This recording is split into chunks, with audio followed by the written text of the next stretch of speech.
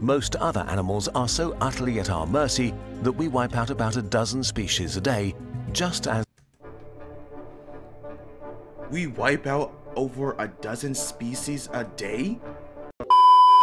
What's good, good? My name is Rebel here. Welcome back to another video. I know it has been a minute. We have not reacted to In a Nutshell in a very long time, you know what I'm saying? I usually like to watch these by myself once again. For anybody that's out there saying, oh, you're just doing this because you can get some views off of this, bro, I have not posted one of these in a while. And there is a reason why. You know I'm saying? I enjoy watching these by myself in the morning every single week, you know what I'm saying? And uh, I felt like it's a great time to, you know, maybe react to a couple of these in the near future. So why should we not look at aliens? I've been saying we should not look at them. We should just mind our own business and move on with our day. You know what I'm saying? I don't know what type of aliens he's talking about. The Dark Forest, what the heck is he talking about? It's the same thing with all of these uh nanotechnology that Elon Musk is doing. He is he really has not watched the movies. Let's get right to this video, hit that like button. Let's get it. the universe is incredibly big and seems full of potential for life, with billions of habitable planets. If an advanced civilization had the technology to travel between the stars at just 0.1% of the speed of light, it could colonize our galaxy in roughly 100 million years, Yeah. which is not that long given the billions of years the Milky Way has existed. So, hmm. in principle, any spacefaring civilization should be able to spread rapidly over huge sectors of the galaxy. And yet, we see nothing, hear nothing. The universe seems empty, devoid of others. This is the Fermi paradox, which we've discussed in more detail in other videos. Yeah, I remember that Confronted with the Alien seemingly scale. empty universe, humanity faces a dilemma. Bro, I always, bro, I always just wanted to know, like, if there's any life form out there in general, dude. Like, I, I I don't, I don't, like, I know it's hard to think about, and I try not to think about and just live my life, but, like, sometimes you just gotta wonder, like, bro, who's really out there other than us? And is it wise for us to actually go out there and, uh, you know, try to discover new things, you know what I'm saying? Or should we just leave it alone and mind our own business and focus on Earth, because Earth is clucked? zone in the Milky Way. We want to call out and reveal ourselves to anyone watching, but that could be the last thing we ever do. Because maybe the universe is not empty. Maybe it's full of civilizations, but they are hiding from each other. Oh, damn, Maybe look the behind you! civilizations that attracted attention in the past were wiped away by invisible arrows. Hmm. This is the dark forest solution to the Fermi paradox. Ooh. Ooh, let's get it.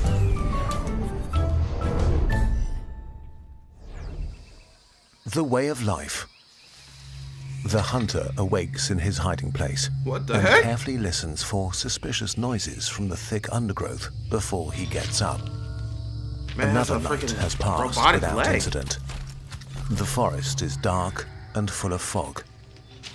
He considers calling out to others to end his loneliness, but stops himself at the last moment. What if they are like him? All living things seek to survive, secure resources, and multiply. Their greatest obstacle are other living things that share the same objective. Competition between species favored the survival of beings with advantageous Oh my traits. gosh. Wow. Wow. That took a dark turn. What in the world? what the frick? Inventive, competitive, expansionist, and greedy for resources, which led them to winning the competition for our planet. Today, most other animals are so utterly at our mercy that we wipe out about a dozen species a day, just as We wipe out over a dozen species a day? Wait, i- am I hearing that right? competition for our planet. Am I hearing that right? Today, most other animals are so utterly at our mercy that we wipe out about a dozen species a day, Oh. just as an unintentional byproduct of how we like to run things. Wow. But humans sad. are more than individuals. From us, cultures emerge, Are they cooking compete with each other. crocodile leg over there? Competitive and expansionary I mean, cultures tail? spread faster and further and merge with, subdue, or destroy others.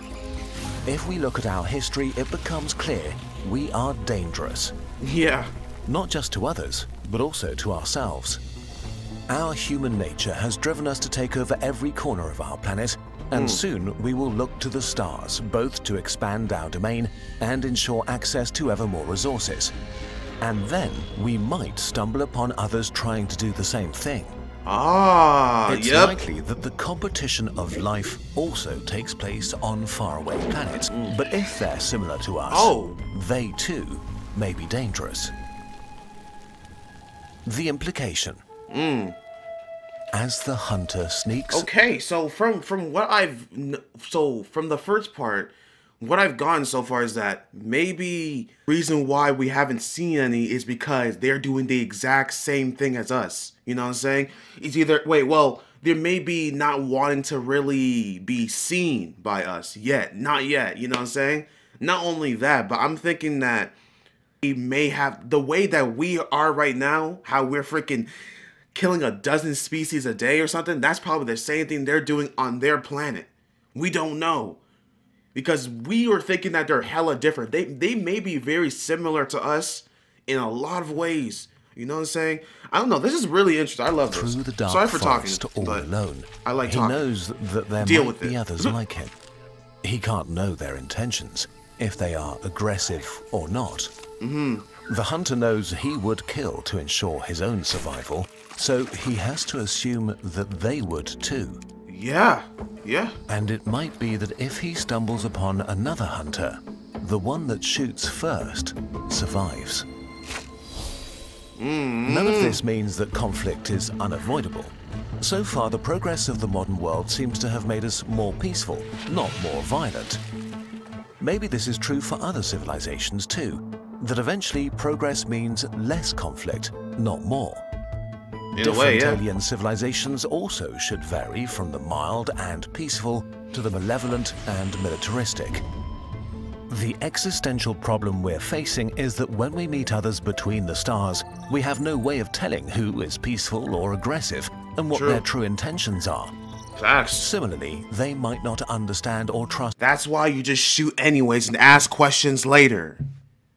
You're America, right? years between us would mean years of communication delay. Damn, years? Both sides would be in a state of uncertainty, wondering if the wisest move is to just attack, because there's another serious issue technological explosions and the first strike advantage. Nah, don't. Don't we do don't that. know where the limits of technology are, but we do know how much technological progress matters in war. A few hundred or thousand years can turn conflict with uncertain oh, results we're screwed. into a one-sided massacre. Yep. Caesar's GG's. legions would stand no chance against Napoleon's army with their cannons and muskets, which True. would be eradicated by artillery from the First World War, which would not stand a chance against today's drones and guided missiles. Damn. So the power level of different civilizations may vary massively, and even if not, between the time it takes us to detect another civilization and us saying hi, we might already be hopelessly behind on the tech hmm. tree. Hmm. Which is bad enough, but the nature of interstellar conflict makes this worse. If your opponent is light years away, sending an invasion fleet takes so long that by the time it arrives, it might be hopelessly obsolete. So, war between civilizations might be just about eliminating the other to remove an existential threat to yourself. Mm, Someone else who might be so scared of you that they attack the first chance they get. In this environment, the only way to guarantee a win is to strike with such force and speed that the target has no chance of survival or time to counterattack or escape to seek revenge later. Wow. The stakes are the highest possible, with no room for error. if You're like, yeah, you're not getting revenge. civilizations Get the on here. planets, that leaves them pretty vulnerable. All you need to do is throw something massive at a planet to make it uninhabitable. So the ultimate interplanetary annihilation weapon is probably something like a relativistic kill vehicle, a missile shot at a planet at a significant fraction of the speed of light. For example, a missile the size of a person going 95% the speed of light has as much energy as all nuclear bombs on Earth. If you shot a few dozen at the civilization you wanted to wipe out, success would be fairly certain, even Wow. a single hit would suffice. That's crazy. This is not that absurd of an idea. a crazy. civilization only slightly above us on the Kardashev scale would have enough energy to send multiple strikes against every planet it suspects of harboring life. We're screwed. What makes these weapons so sinister is how much they favor a first strike, since they would be so fast that it might be Ew. impossible to protect What yourself is that effectively head? against them once they're launched. Looking like a jelly between bean. Civilizations may not be lengthy affairs, but rapid winner-takes-all situations, where the first one to shoot wins. This makes any civilization an existential threat to any other. And if every civilization is an existential threat to every other, there may be only two kinds of civilizations out there. Hmm. Quiet ones and dead ones. So, what should we do? Nothing. Bro, this is what I'm trying to say, bro. Just leave it alone and not even try. Cause this could go two ways. It could be they are hiding from us because they're peaceful and they're thinking that we are the dangerous ones, or just what he just explained right now. We're both threats to each other. Literally, uh, bro, they could be hella dangerous. We don't know. When we try to find them for the first time, what are they gonna do? Are they gonna attack us? Or are they gonna try to communicate? We don't know.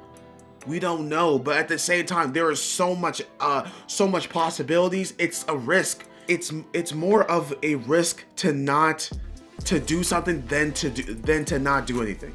I feel like we should just stop for now, relax a little bit, you know, put a pause on this on this project, you know I'm saying? NASA, please put a pause on this project. We don't need that and then focus on other things, you know what I'm saying? Like, come on. we worry?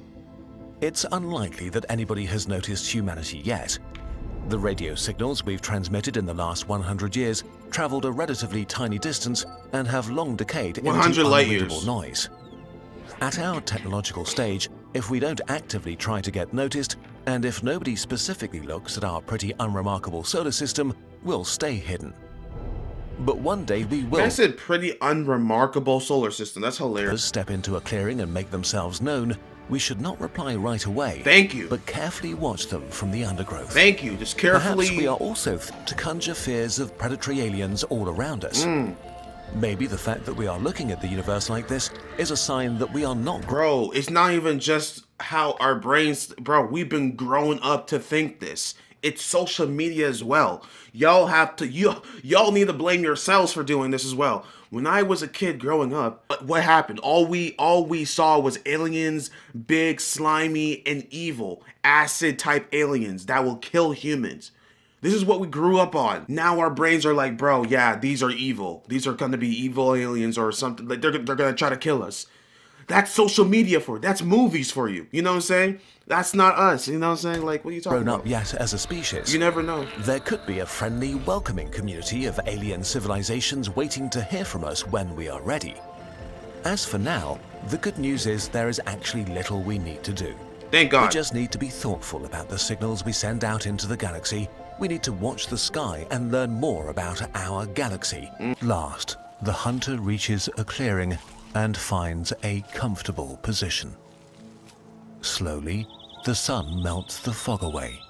Lost in thought, he admires the vegetation until suddenly he is eye to eye with another hunter oh, frozen in terror, My God! just like himself. His mind is racing, considering all the different options. The hunter takes a deep breath and makes a decision. Hmm, okay. Maybe the only way out of the dark forest is to step into the clearing together.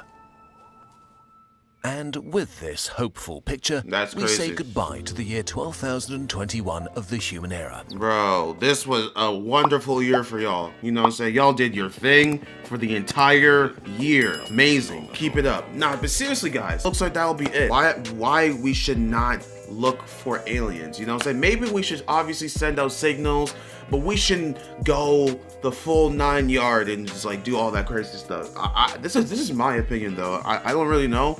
I would love to hear y'all opinions in the comment section down below. What do you guys think about this?